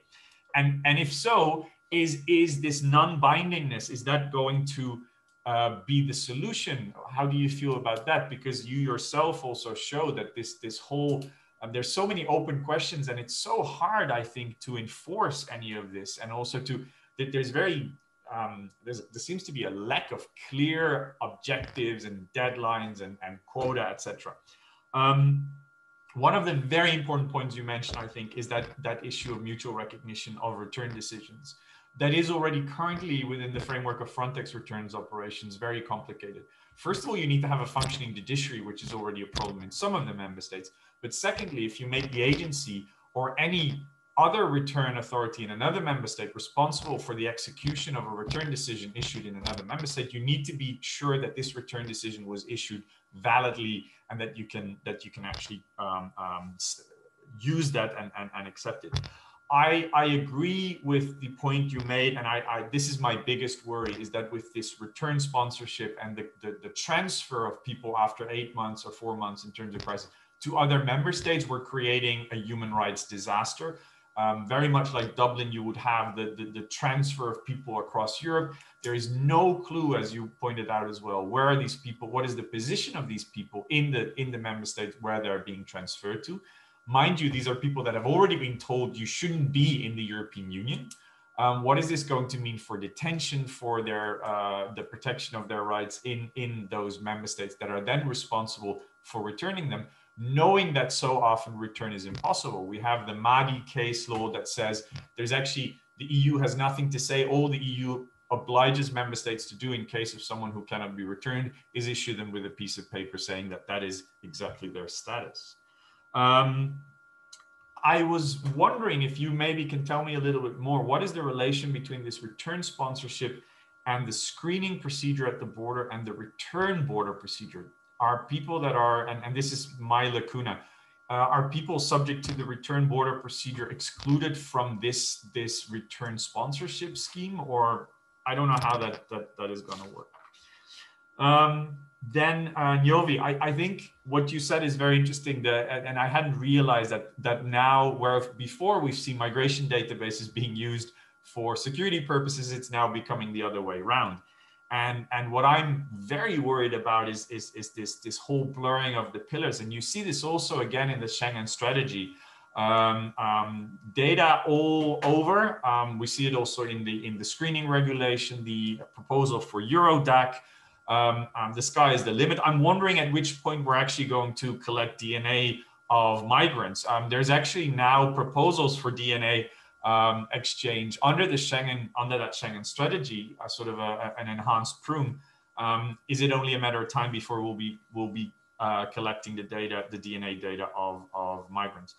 Then with AI, I, I again, um, I, am not opposing progress. I'm not that old yet, but I do, I am, I'm, I am very worried about that. Um, also, and this is something because quite frankly, I don't understand it. And I quite frankly wonder whether the people that are legislating on this are understanding it. Um, this is with regards to AI, but it's more generally. Uh, I have seen close up the negotiations on interoperability, and with all due respect for the for the knowledge of the people at the table, um, developments, technical, technological developments go so fast and the, um, the, the, the amount of legislation and the amount of proposals, amending proposals, amending proposals that are supposed to amend legislation, I'm not kidding here, it's literally that sequence, makes it so incredibly hard to grasp. And that brings me by the second to the second point.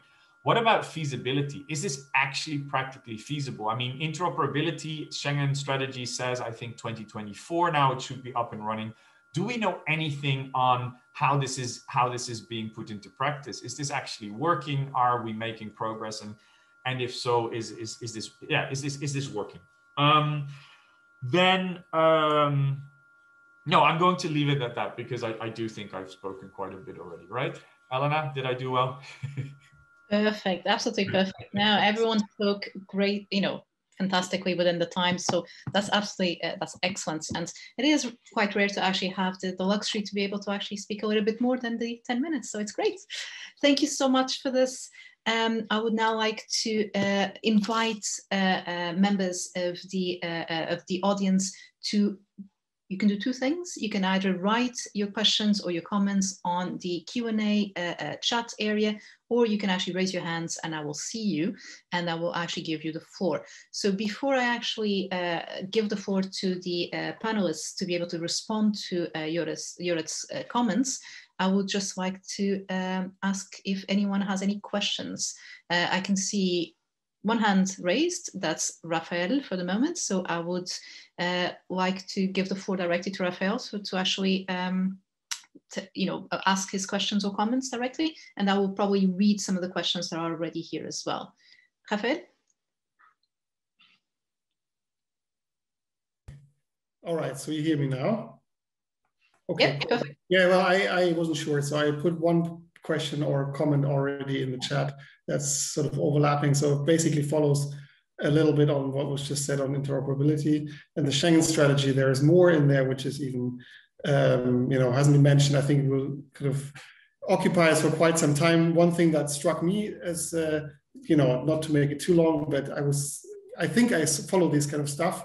And then I suddenly found this proposal to extend advanced passenger information systems for uh, the EU. And thought, where, where the hell is that coming from? And then after digging a bit, I found out that probably, so that's my understanding, it's just guessing, the idea there would be to have a mandatory intra-Schengen uh, advanced passenger information uh, network. And, you know, okay, this is all nerdy, but basically it shows another step that, you know, we're not only going to fortify our external borders, but we are also building up internal Schengen inside electronic surveillance networks. And I'm not quite sure yet how that's going to actually be legal in uh, terms of actually the treaty base and so on. So I think there's there's a lot more to be to be said there. But like my comment in the, you don't have to read it out then, in, in relation to interoperability is also, um, thanks Niovi for this uh, oversight. There are so many moving parts. It's always extremely hard to keep track, but I also would make the, uh, or ask you, or my point would be to say, let's also prioritize. And of course, entry exit is very important, but the long-term stay visa is so much non-discussed, but in my understanding is happening now, and it's it's enormous. It's a, it's a gigantic step, and basically, we're creating for the first time a central uh, person register in the EU uh, for third country nationals which do have rights under EU law. We're not talking about, you know, rightless or very right limited uh, irregular migrants. So I think that that certainly deserves um, a, a, lot more attention um, than, than we've given it uh, so far. Um, so just, I will stop also in a moment, not to be too long, uh, to, to, to, Florian. Um, just maybe your guess. You know, I know we don't have a crystal ball. Yeah, um, the pact is in pretty poor shape, and we'll see what comes out of it. But how about the guess? My guess would be return sponsorship is already dead on arrival, um, and it's basically a negotiation mass. So if if I was somebody, I mean, I'm German, so we want something to happen.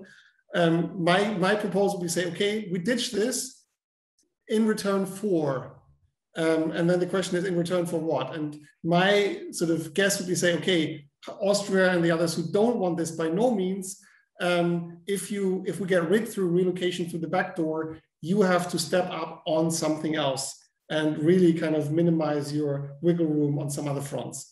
So maybe it's a flexible solidarity plus. I don't know, but maybe you have some ideas on that as well. Thank you. Thank you, Rafael. I just want to read an, uh, well, two other questions which are here in the chat. Uh, one is also for Florian. It's by Emmanuel Morgado. And he asks, uh, how will it work if all member states opt for return sponsorship instead of returning, relocating asylum seekers? And two, will solidarity prevail among all member states or will it be more realistic to go for reinforced cooperation? Thank you. And then I have a, another one uh, which is, I'm not sure if it's, uh, I would like to ask Lewis Jones whether uh, the question that he puts on the chat has already been answered to his satisfaction. Uh, so he had asked, I have a question for Dr. Uh, Niovi Vavoula. Considering how the global WannaCry cyber attack in 2017 revealed how vulnerable our institutions are in cyberspace, how concerned should we be about the integrity and security of EU immigration data, personal data, biometrics, etc., in the face of these cyber threats?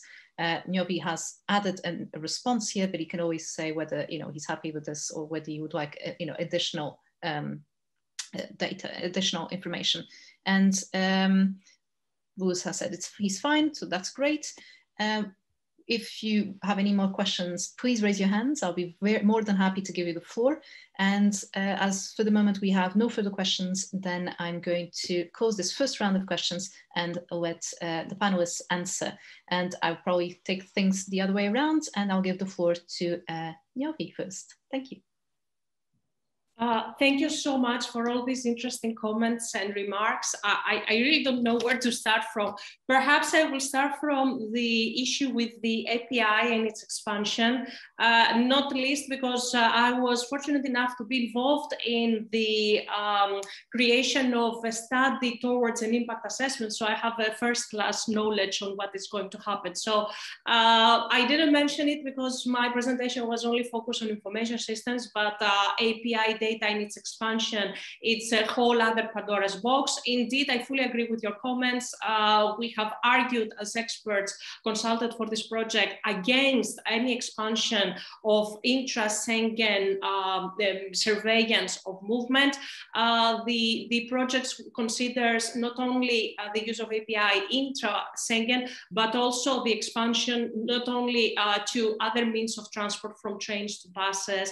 it, it is not always favorable but uh, the fact that this is even considered and that the fact that the, the Commission has requested the study to expand to any means of transport, both external and internal, intra-EU, uh, shows the tendency towards uh, a full generalization of movement, which, and I, I, didn't mention that, but I think it, it is a, a key issue that is now moving not only to from third country nationals to people on the move. And people on the move are both EU nationals and third country nationals alike. I fully agree with the comment about the rights of third country nationals, not least because Article 8 of the Charter on the article on the uh, right to uh, personal data protection applies to anyone, irrespective of whether they are from the EU or not, uh, and uh, therefore is um, I, I, fully agree that, the, the, rights of third country nationals are not fully protected. Uh, the second strategy uh, mentions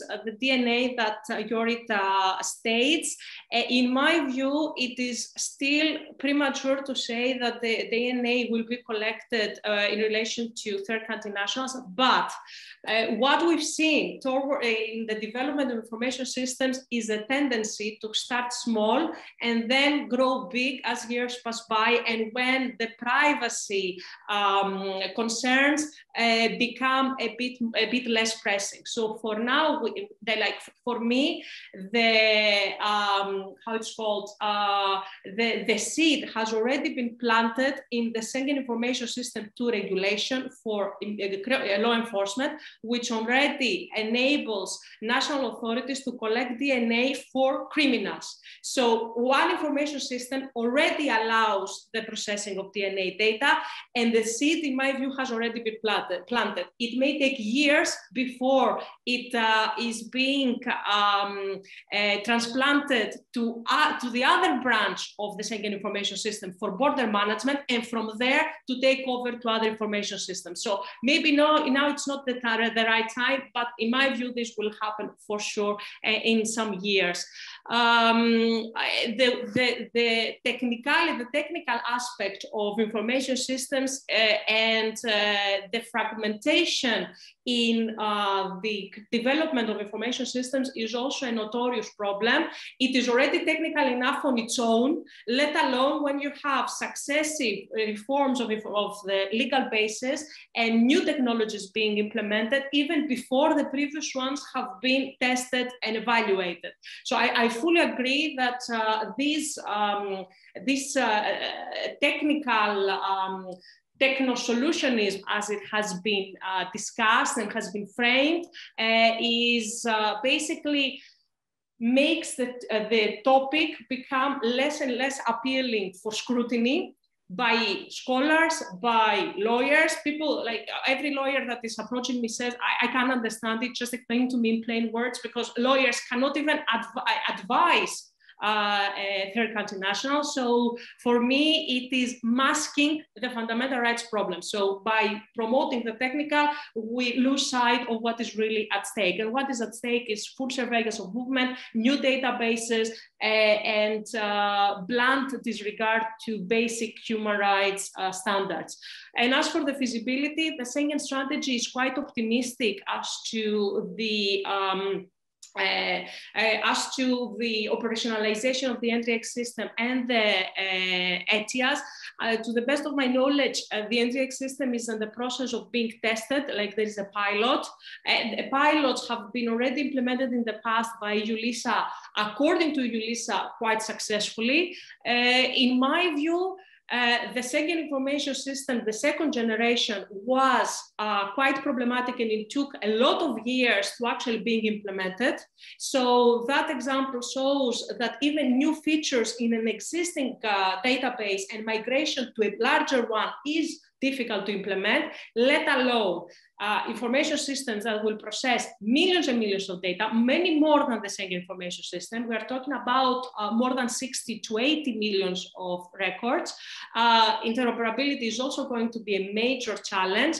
Uh, to the best of my knowledge, and as far as I've seen in reports, there are member states that are really lagging behind in implementation for financial reasons, lack of training, like it, it is too much actually. And a lot of things are going on at the same time uh, without uh, um, being followed up uh, by proper evaluations, uh, at, at, least in, in, my view.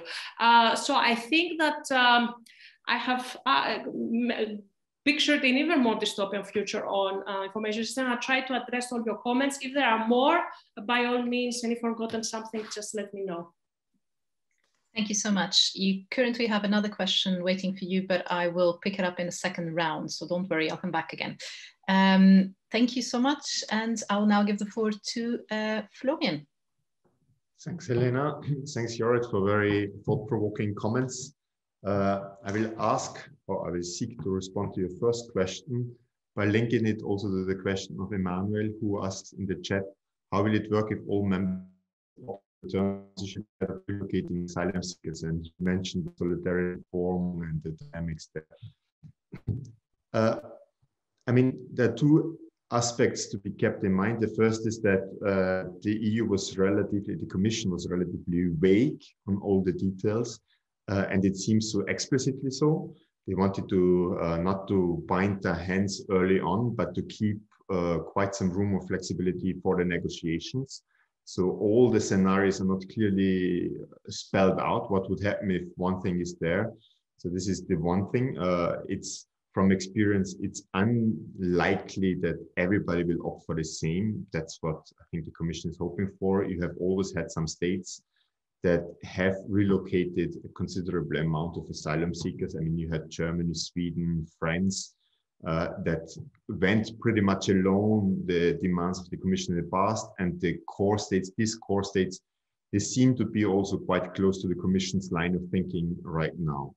Uh, that said, uh, with regard to your question about this non-bindingness, quite interesting for the paper, we also interviewed a few Italian officials and they said uh, the Malta Declaration and the Malta Cooperation may actually, in the end, provide more solidarity for them compared to what is in the pact right now, even if it was voluntarily, but it's much more predictable. They always came, so the Malta Declaration is a declaration that has a small group of member states cooperating with Italy every time a boat full of migrants comes to Italian borders, basically, so that you don't have this public struggles about who is taking care of these boats. So this was the reaction to this, and they say it's working relatively well.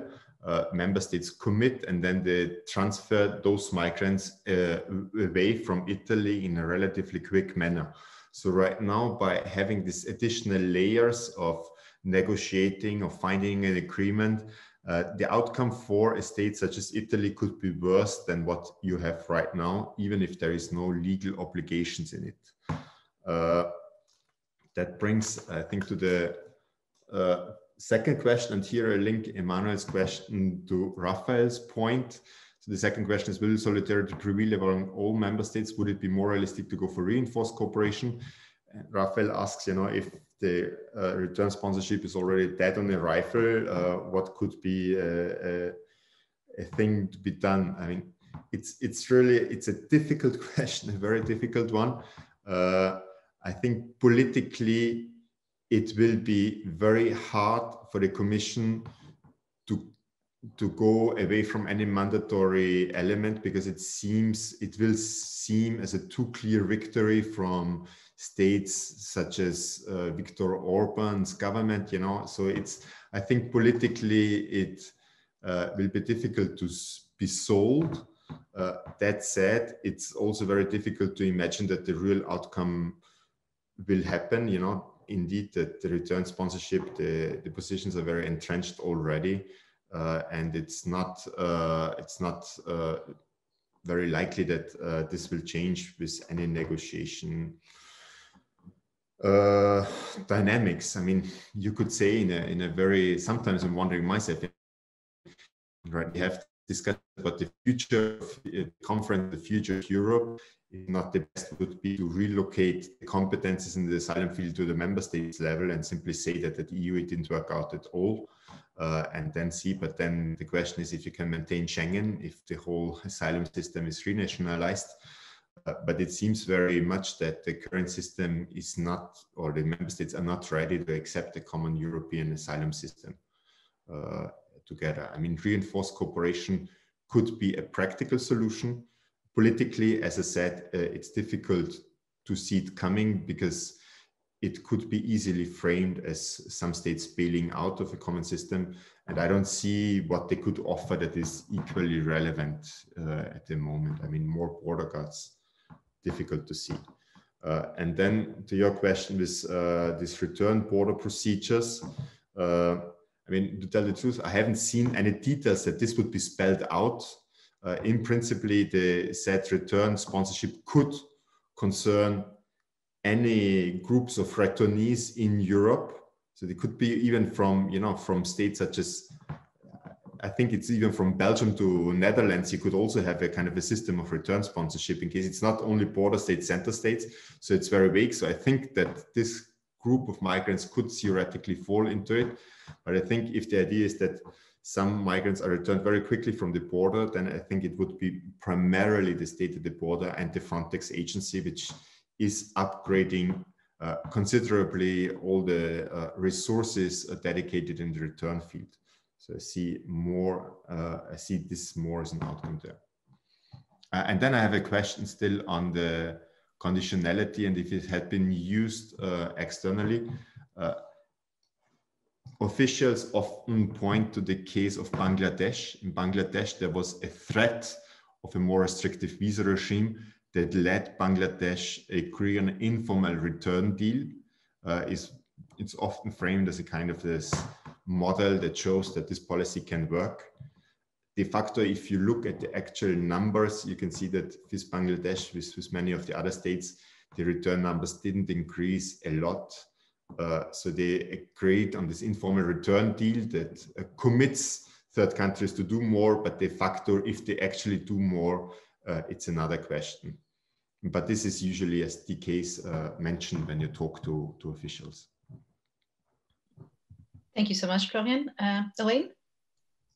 So a huge thanks to, to Jorrit for uh, lots of really fantastic uh, comments and I apologize for giving such an academic paper in, in, the scheme of things, but um, you raised lots of really important points, uh, Jorrit, and I'd love to do them all. I mean, it's just, it's not possible to do a paper kind of the, the quarter just side of things that's been done and stretched it too far. And I think you're absolutely right. The use of the charter is really being used by the EU institutions to compensate for international law, but at the same time, it's, you know, it's a very different kind of counting exercise. I've tried, it's, you know, it looks quite different to be tracing this. And I suppose maybe just tapping into broader discussions that are taking place here, it, it is of value to my mind to study the fact that there are virtually no more regulations in this field. Assuming everything is done by regulations gets rid of the fact you can't trace you know, the points about Niovi is making about a judicial review and so on. You know, how do we trace remedies and rights in a context where they're not supposed to exist, right? This is the, you know, the, the getting rid of judicial review going forward. So I think this is it's quite a disturbing set of developments. Thank you so much for pointing out some errors. I'm, I'm sure there's absolutely tons. So um, it's really appreciated to, to point out this. Um, and I think, yeah, the, the broader point is about, um, you know, how much that you download from international. I think that's a really interesting question in, in the AFSJ, because as you say, you know, the EU is, is very much about promoting international law and this is complicated relationship. So I, I also struggle with that. And I really like that point. I think this I think, in, in fact, I think there's too much emphasis upon studying downloading from international, and that's quite complex, right? Because it assumes a chain, as you say, then people get into studying implementation and so on. So it's hard to be general or versus specific, right? So promotion can, can sound very vague. I try to, to, to, use terminology that could just about, but I think asylum and immigration is not a great area. I think there's probably better examples in terrorism, counterterrorism, and so on of, of downloading. But um, yeah, a really great point. And um, uh, yeah, a really nice point about the, the rights of the child. You and mentioned the rights of the child as well. I'm really, yeah, I think it's a great example in in this context, and I'm definitely going to do more work in it. So I've loads of work to do. But thank you so much, guys. Really super. Thank you. Thank you. And now I'd just like to do a very quick second round of questions. I can see that there's a question by uh, Andrea Ott. Uh, this one is for Niovi. And uh, Niovi, you spoke about ineffective judicial and extrajudicial remedies in regards to the digitalization. Could you provide a concrete example to illustrate your points? And I would like to take advantage of my position as chair to actually add a question, if I may. Uh, it is also for Niovi, and it's relating to the to, to the public-private partnerships that exist in this area specifically. I don't, if you don't if you don't know how to answer it, uh, that's absolutely fine. Obviously, you didn't you didn't go into this area in your presentation, but I was just very curious. uh, what, what has been the role of the of the, uh, the private uh, companies uh, in in pushing for this specific form of techno solutionism and uh, can you see that is it possible to identify whether there's been there's margin within the current process for these companies to shape the final products or not? Thank you very much um, yeah, thank you so much for, for these uh, questions. Uh, starting with the first one on effective remedies, uh, I, I, will put on the chat a, a, an article that I, I just published or exactly on this issue and the lack uh, and the ineffectiveness of judicial and extrajudicial remedies in the case of Eurodac. And uh, empirical research shows that uh, on the extrajudicial remedies, there are, on the basis of individual rights under data data protection law, but these are rarely exercised, uh, like the right to access, the right to correction, the right to deletion of data. Uh, and not only that, but also empirical research shows that uh, asylum seekers and irregular migrants apprehended or irregularly on the border or national territory do not really appreciate and understand the information that is given, which is part of the right to information. So there is the right to information is that asylum seekers should be informed, but uh, whether they the receiving end actually understands the information they receive, uh, it's actually it shows that this is not the case. So from the extrajudicial remedies, they are not exercised um, rigorously, perhaps for various reasons, not least because they don't really understand what are their rights, or they have more important things to be preoccupied. And perhaps that uh, that's one of the reasons why all these policies target nationals because of their powerlessness and the more important preoccupations that they may have on judicial remedies, that article maps uh, a series of cases from various countries within the European Union where it is shown that um, Eurodac, which is framed as a composite procedure, uh, national judicial authorities rarely and not only judicial administrative authorities rarely challenge the information that they receive from and it's uh, processed and collected by other countries. So let's say that there is an error in an Italian registration and the third country national is then moved to, uh, to the Netherlands. We see from a series of cases that rarely the Dutch authorities would challenge what the Italians have done. And uh, this is also reflected in uh, the case law. The judicial authorities are reluctant to challenge uh, mutual trust amongst member states. On the private and public partnership, uh, there has been an article written, if I'm not mistaken, 13 years ago from Dennis Broeders and someone else as well. Uh, I, I, don't remember the second author, which is exactly on this. Um, issue of the greedy um, industry which uh, uh, which, which actually shapes the future of um, information immigration control. I, I, I, fully agree that it is the industry that provides all these new products and informs EU LISA uh, and the Commission. And because of that, this actually frames what will be the future of immigration control. We can discuss it more, but these are my initial comments. I fully subscribe to that argument. It, it's evident that this is the case. Thank you so much. It would be great to discuss this uh, bilaterally at a later stage. And I have a last plan hand by uh, or the or discussant, Jorrit. Would you like to come in at this stage? Yeah, sorry, because some of the replies and questions actually um, um, raised some some new um, uh, questions and, and, comments. No, just just one um, question. Sorry, one one additional remark to to to Florian. Um, what I found interesting also in the paper, and I forgot to mention, is the the, the risk of non-cooperation from the countries that would actually benefit from the system because this is an argument that was brought in the cases against the relocation decisions where uh, and it was not accepted by the court but where uh, poland amongst others was saying we're not getting the the cooperation. Anyway just just a, a, point that i forgot to mention. But what i was wondering you you said reinforce cooperation. I heard this hear this a lot. Um, how do you square that with schengen? Did i understand your comment correct that that would probably be then the end of schengen as we know it? Because I, I don't see it otherwise, but this is my view. I, I, I, hear a lot about like Schengen, Schengen Plus or, or a small group going ahead, in advanced cooperation. I can't square it with Schengen. So I wonder, I wonder how you see that. And maybe in reply to Raphael's comment, um, I think it's very interesting what he mentioned in relation to third country nationals that have free movement rights, because that is something where in the commission you see DG Home clash with DG Justice. And it, I feel sometimes DG Justice also in data protection is sort of on the losing hand. Um, um, but that is something we need to we need to bear in mind. Increased surveillance and intra-Schengen monitoring will have effects on, as does the PNR exchange, etc., on the rights of EU citizens. So these were my sort of last comments. Thanks.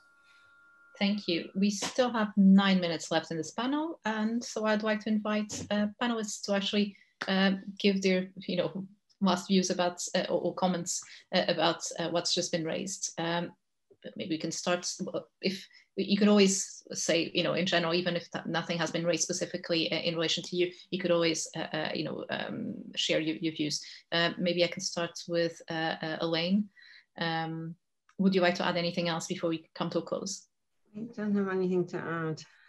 No, that's, that's absolutely fine. Thank you. Florian? Yeah, um, what Jorrit said, I think implicitly I would agree with him. I think that the asylum and the Schengen questions are very closely interlinked. And if there is really permanently no advance in the asylum field, Schengen will be a kind of, you know, will suffer the consequences as well.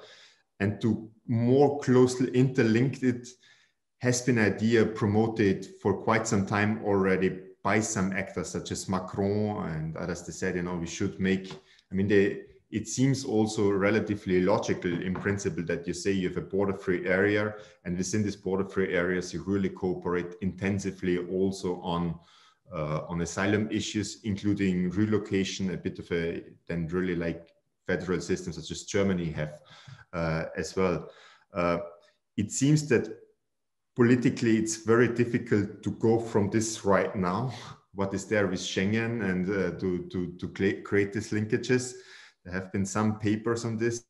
Um, some other authors wrote exactly the possibilities.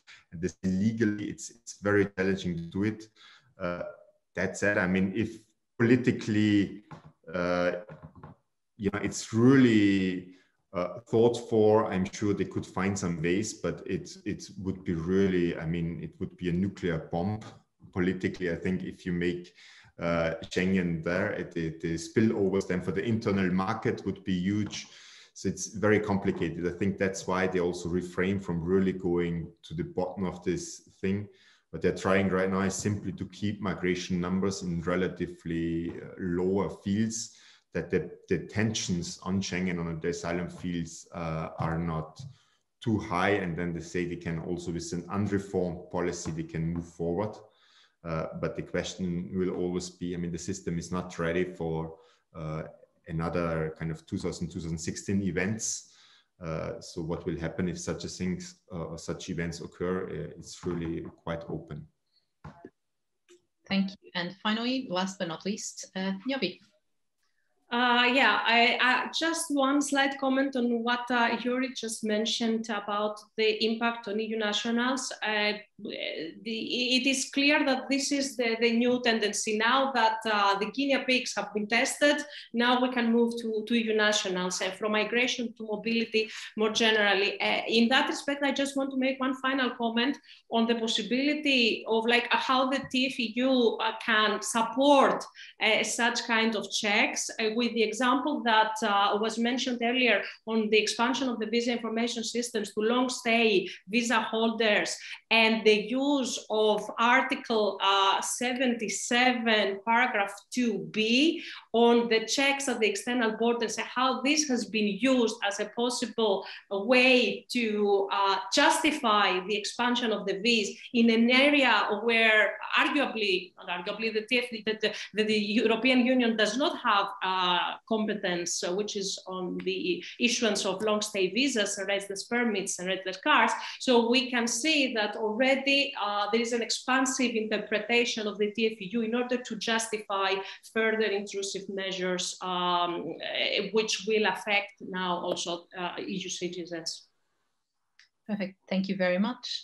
And uh, I see that there's no other hands being risen. That I can see that there's no other question in the chat. So I'd like to bring this uh, panel to a close. And I'd like to thank uh, all the panelists, the discussant, obviously, and uh, all the uh, and the audience for actually uh, being very active in actually engaging with this panel, which has been, you know, there's been a fantastic discussion. So thank you very much for everyone.